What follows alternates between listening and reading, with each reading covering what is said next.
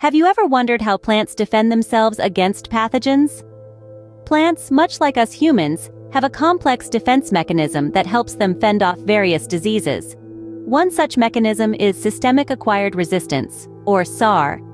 Today, we will delve into the fascinating world of plant immunology and explore the key features of this remarkable defense strategy.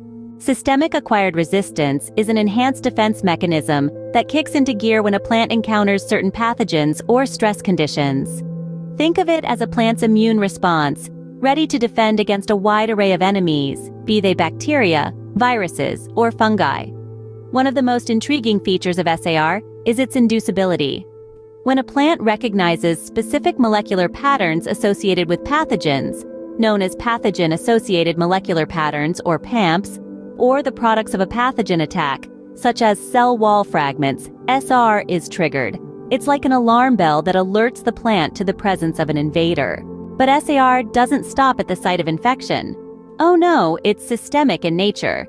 This means that once triggered, the resistance response spreads throughout the entire plant, providing protection to parts that were not directly exposed to the initial pathogen. It's as if the plant sends out a warning signal to all its parts, making sure every corner is prepared to fight off the disease. And the most impressive part? SAR often leads to long-lasting protection. This enables the plant to resist subsequent infections by the same or related pathogens for an extended period. It's as if the plant has a memory of its past encounters, ready to defend itself swiftly and robustly upon meeting the same enemy again. This memory is part of what we call the priming phase. In this phase, the plant memorizes the initial exposure to the pathogen, allowing for a faster and more robust defense response upon subsequent encounters. And how does SAR orchestrate this complex defense mechanism? Through signal transduction, which is mediated by a complex signaling network involving various signaling molecules. These include salicylic acid, jasmonic acid, and ethylene.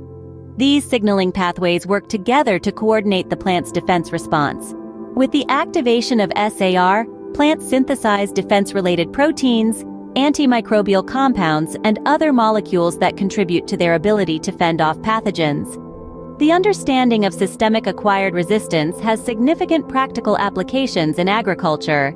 It forms the basis for developing strategies to enhance plant resistance to diseases without the need for chemical pesticides. Farmers may use SAR-inducing compounds or incorporate resistant plant varieties to improve crop protection. So, in summary, systemic acquired resistance is an inducible, systemic, long-lasting, and primed defense mechanism in plants. It involves complex signaling pathways and the production of defense-related molecules. This understanding can help us develop more sustainable and effective strategies for crop protection. The world of plant defense is indeed a fascinating one, filled with complexity and resilience. Remember, even the quietest of plants have a robust system ready to defend them against their enemies. Quite impressive, wouldn't you agree?